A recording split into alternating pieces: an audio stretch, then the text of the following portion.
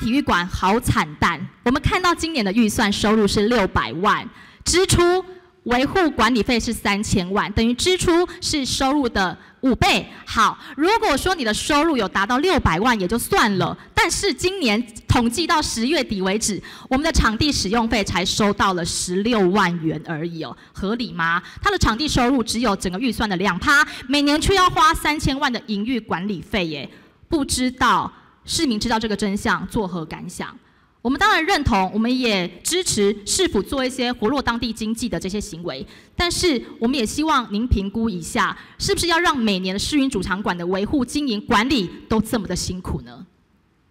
高雄巨蛋，如果说你担心抽成抽太多，那你可以比照高雄巨蛋呐，他们有抽成的定定上限，每场的收入呢，他们上限抽成的规定是一百三十五万以内，所以大概平均每一场可以收两百七十五万元。我相信两百七十五万元好过零元吧。对于高雄市府的财库也不小补，不是大家经常在说各局处都没钱吗？要修个路没钱呐，教育要再补贴没钱呐，什么都没钱呐。可是你可以这么的大方，让这些主办单位、让这些天团随便来。开唱，通通不收钱呢。